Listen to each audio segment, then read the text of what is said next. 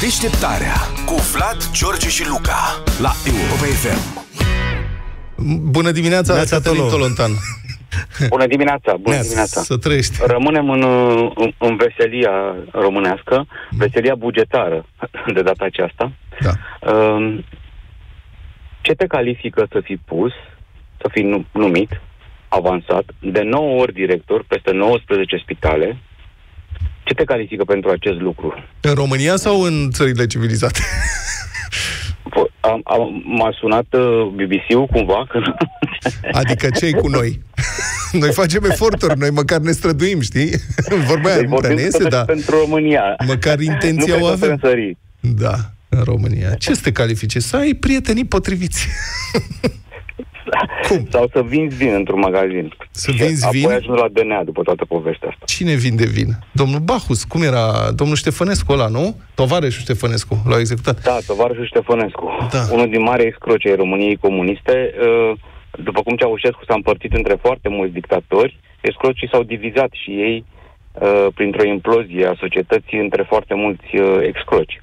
Vorbim despre Cristian Plută, directorul adjunct al Ah. ATSMB, Domnul Plută. Uh, adică practic al spitalelor bucureștene, omul care coordona spitalele bucureștene, în număr de 19, unele spitale foarte mari, bugetul acestor spitale și bugetul instituției separat era de sute de milioane de euro în fiecare an. De- Ca să facem o mică Și- paranteză pentru ascultătorii noștri care poate au uitat, s-a întâmplat acum, cred că nu mai departe de două săptămâni, domnul Plută ăsta a fost uh, înregistrat, prins în flagrant, când împărțea, mă rog, încerca să împartă niște șpăgi de 10%. Era vorba de sute de mii de euro. Și este un moment acolo formidabil în care îi dă denunțătorul, încearcă să-i dea șpaga, și denunțătorul este uluit, zice, ăștia 200 de mii de euro împărțit la cât? Și ăsta zice, nu, 200 de mii de euro de persoană. Denunțătorul zice, vai, dar este foarte mult. Și ăsta face, nu muncesc degeaba. Înțelegeți? Da, Cătălin, te rog. Exact, adică sub 200.000 de euro la o operațiune, omul muncea degeaba. Da, exact.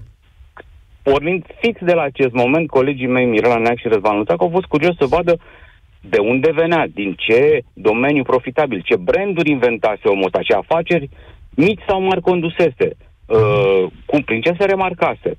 Uh, Numai o secundă. Cum este numit un astfel de personaj? Care este procedura de numire? Adică cel, cine îl numește pe el? E numit cum? Politic, ales și pus cu mâna, nu? Con- con- nu de concurs. Consiliul local în cazul Așa. Așa. Consiliul local în cazul, uh, Prin în vot. cazul uh, AFSMB, Prin vot. al municipiului București. Da. Și omul înainte să ajungă, deci el a ajuns în 2013 în mediul spitalicesc, în mediul de politicilor de sănătate, încă o dată pe no, responsabil pe 19 spitale, uh,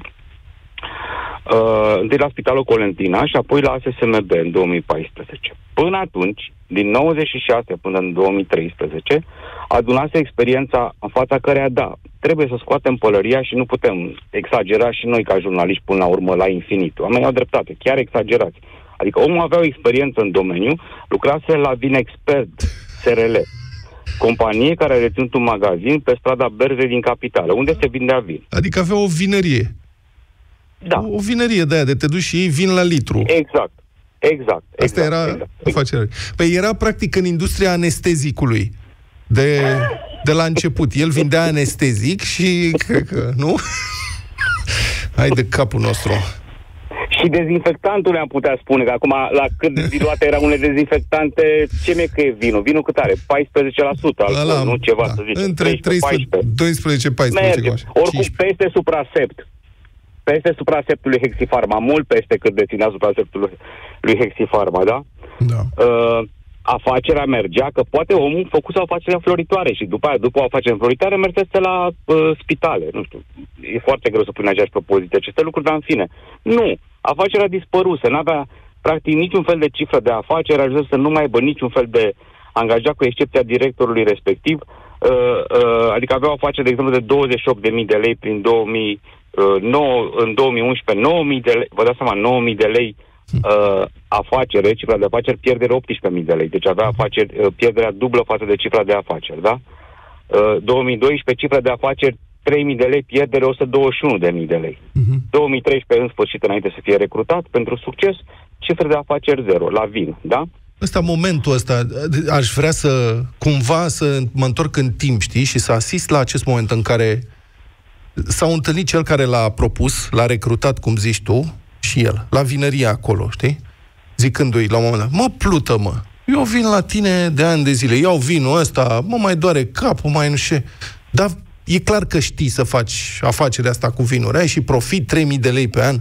Mă, nu vrei să fii tu șef peste 19 spitale? Ba da, șeful, de ce nu? Momentul ăsta, aș vrea să știu și cine l-a propus pe domnul Plută, astfel încât să-l voteze Consiliul Local. Vom continua acest episod. Domnul este încă uh, cercetat de DNA. Să mhm. vedem când va ajunge instanță. Nu vom lăsa lucrurile așa, pentru că știți de ce nu le lăsăm așa? Și pentru public și pentru foarte mulți oameni din sistemul bugetar care totuși își fac treaba și care nu merită să fie identificați cu asemenea exemple. Da, sunt și multe cazuri, din păcate, din acestea, dar nu e ok să generalizăm și e bine să le identificăm. Generalizarea este moartea preciziei aici, este evident. Da? Mm, sigur că da. Și sunt vom... foarte mulți oameni care lucrează în sistem, dar uite, sunt câteva poamerele care strică uh, tot coșul. Mulțumesc foarte mult, Cătălin Tolontan, pentru intervenția din Deșteptarea. Deșteptarea cu Vlad, George și Luca la Europa FM.